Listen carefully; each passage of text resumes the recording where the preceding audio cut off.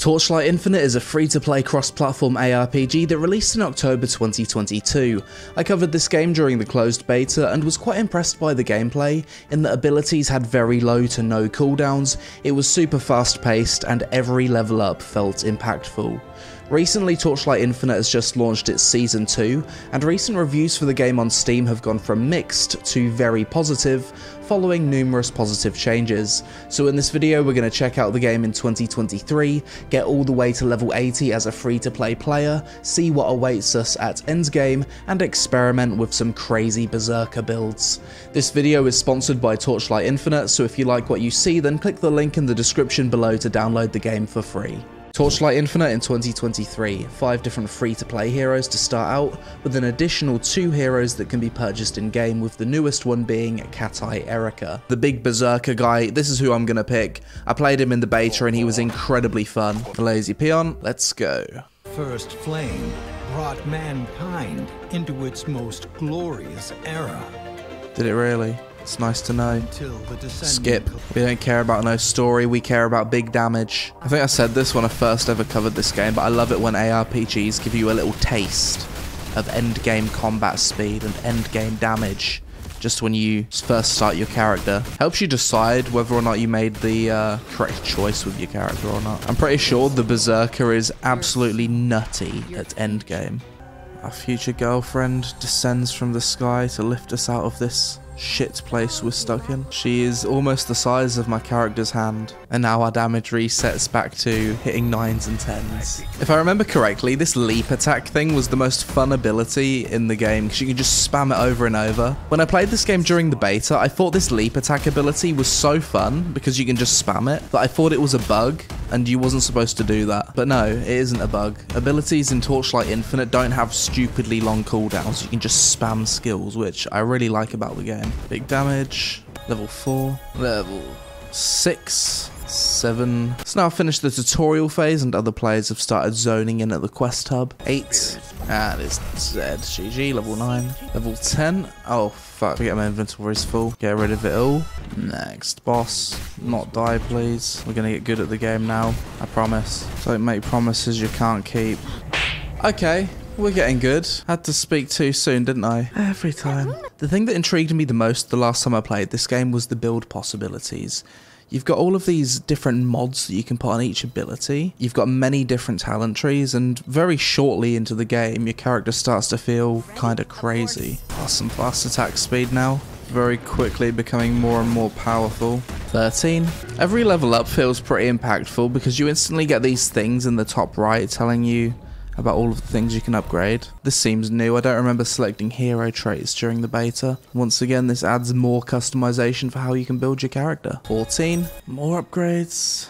Ding ding dong. Every talent that I get to spend, massively impactful. Bunch of stuff to claim. Once again, fantastic audio-visual feedback from the UI. Feels good to click on stuff. From here, it shouldn't be too long until I've caught up to where I was during my first impressions of the game. But for this video, we're going to get all the way to endgame. Level 15, 16. Kind of level up super quick when you get to this second area. I've got one of these summon things, so let's see if we can summon something. Maybe it makes us more strong. Bit of gacha. We got a squirrel 17. My little otter's actually following me around. I've only just noticed. Read all of that dialogue, as you can see. I can read really quickly. Talent of mine. Right, I think it's at this point where I ended my first impressions the last time I covered this game, so everything beyond this point should be somewhat new to me. Level 20, and that should be another big upgrade with the talents. God, I'm attacking so quickly now. Feels good. Now that I'm level 20, this is the most powerful I've felt relative to the mobs that I've been fighting so far. The mob density is starting to increase, which I like. Looks another legendary's popped up, level 24. At this rate, we're going to be level 80 in no time. 25. There's actually quite a lot of players running around in the main hub. As I'm on the Asia servers, I've got a lot of Chinese, Korea, Japanese people playing. I wonder if I can get some kind of pet or convenience item that will loot for me. I'm feeling a little bit lazy to click on loot at this point. Surely something like that would exist. It's getting a little bit ridiculous now, this attack speed. Game's making me feel like a bloody speed runner. Level 30, any big upgrades? So I've killed him twice. And now he's split into two. Oh, he's dealing damage. Respect the damage. That's the first time I've died in like an hour and a half. Bit of unexpected challenge coming in there. I just enter the room and just whack him twice. He's dead. Bosses are starting to kill me again. Ugh, that was close. Are we good? He's supposed to be dead. He's a mute. Get inside the shield. Your current resistance is too low. Increase resistance to 75% to increase chance of survival. I was doing just fine. I just ignored the mechanic. Get inside the shield, right? There it is. Mechanics. And he's removed his legs. Somehow that's made him more powerful. I feel like I'd be more powerful with my legs. I, don't know. Never mind. He is more powerful without his legs. Maybe going full glass cannon is starting to bite me in the ass. Respect the mechanics. This fight is actually quite impressive. Oh, my editor's gonna have fun editing all of these deaths. Hayden, don't make me look too bad at the game, please. I'm actually really good at this game. What I'm trying to do is lower my skill level to the average player so I can review it more effectively. Like that. Like the average person, they'd get a little bit confused. okay, we killed him completely legitimately. I hope people don't mistake me for being a game journalist because that's how I feel with how I'm pl playing today. Back on the airship and apparently we're now heading to the desert. Oh, looks like we've run into an ambush. Been saved by a new waifu. Light wielding cat girl, Esmeralda. Nice. She's going to be a fan favourite, isn't she?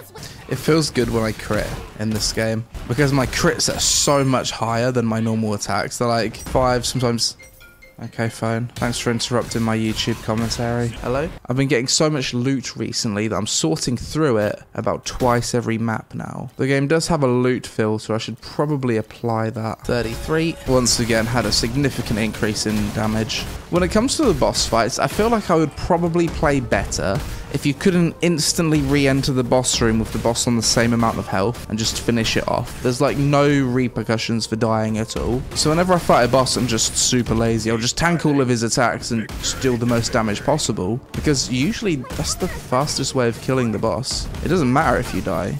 Maybe later on there's some game modes where it does matter more, but during the actual campaign, dying doesn't matter whatsoever. Applying this loot filter has helped, it's now only dropping epics, and the vacuum cleaner has arrived. Big damage on my earlobes. I wonder if my build's going to be viable when I get to endgame, because I'm not following any build guides, I'm just clicking on what I think looks fun and looks big damage. Probably the most fun way to play these games, really. I've got another draw token, so let's draw. Give me something good, epic, please. What a handsome creature that is. This reminds me of one of the characters from Monsters, Inc. I like that I feel comfortable just spending a lot of time in this menu experimenting and trying to figure out what's going to do the most damage because there's so many little augments and passives that you can add to your abilities to really make the most unique builds. Me playing around with my abilities and augments has taken my DPS from 3.5k to 4.7k. Me just experimenting, reading and messing around, that's how impactful the talents and augments are in this game. I'm a lot more squishy now though. Doesn't matter when you've got big damage though, does it? I'm such a simple guy. In almost every ARPG, my approach is full glass cannon, big damage. At some point, it's going to bite me in the ass. Level 40. We're probably approaching the end of chapter 3. Okay, now we're going to kill the Sun Queen.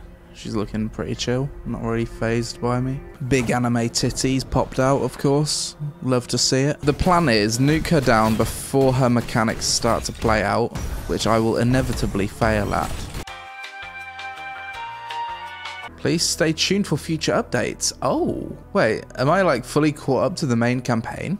Netherrealm Mentor. So this is how I'm probably going to get to level 80. So for this Netherrealm thing, I just need to defeat the bosses. And in the top right, it also indicates how many bosses are on the map and how many I need to kill. So I'm one out of three at the moment. My character is just feeling like an absolute god right now. The crazy thing is I'm only halfway to max level as well. Like, how much more crazy can the gameplay even get? To the final boss room. It's going to be an actual challenging boss fight or... Yeah, not super challenging. I'm pretty strong right now dead. Clean. So that's the Netherrealm done. Then we click on this. What's this? 100% uh, chance for Void Pirates to drop hero relics. Oh, I get to choose some kind of Void seal thing. So now we need to defeat waves of monsters. So going through these different stages is going to give me various augments I guess. Killed the bosses. The tentacles have unwrapped. There's a treasure chest. Open the treasure chest. And we go to like level 2 or something. Kill the boss again. Go through another void thing. Dude, what, what is even going on? It's not, there's like no story or context really to what I'm actually doing right now. It's going through like endless stages. I suppose I just keep doing these all the way till level 80. 45. 35 levels to go. Level 50. That's got to be a big upgrade somewhere, surely. I'm getting so much loot now. It's kind of difficult to loot everything. I really want auto loot. I think I can get auto loot with the battle pass for free. Finally, okay, I have got auto loot. That was good timing. Let's see if this actually works. It doesn't auto loot weapons, unfortunately, but it's auto looting resources. So that's a few less clicks at the very least. And now we're on chapter 5, Netherrealm Invasion 2. So basically what I was doing all throughout chapter 4 is just going to repeat throughout chapter 5 and eventually we're going to get to level 80. So at this point I'm going to put some music on, maybe watch a stream on my other monitor and blast my way to level 80. Montage, montage. a sports training montage. montage. Show a lot of things happening at once, remind everyone of what's going on. What's and with every shot, show a little improvement. To show it raw would take too long. That's called a montage.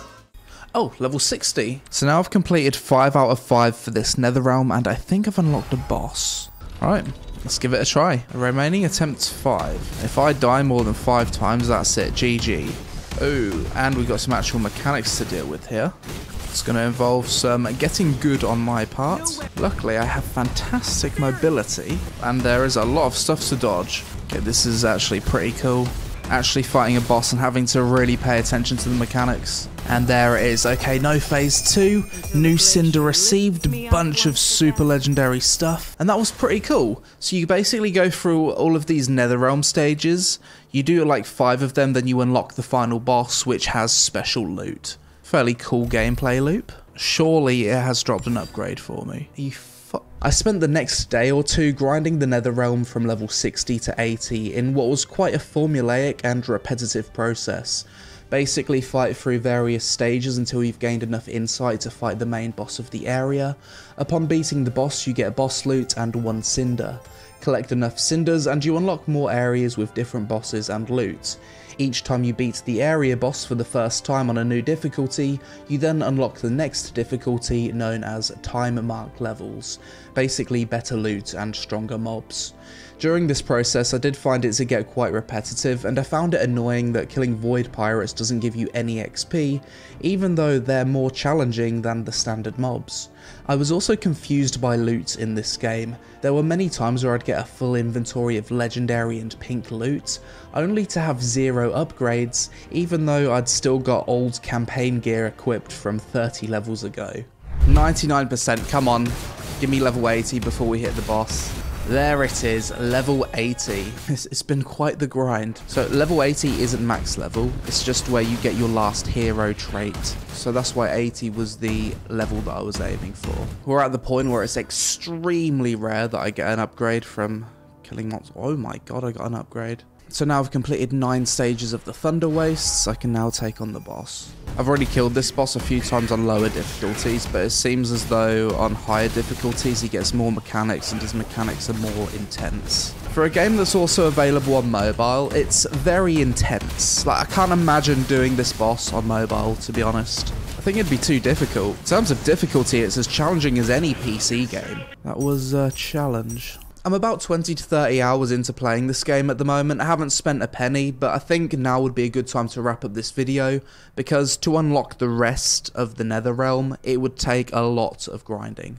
To unlock the final boss, the Lord of Calamity, and basically beat the game, I need 35 cinders. I've currently got 19. So I'd basically need to go through these stages another 16 times and beat 16 bosses, each of which drop one cinder, to unlock this.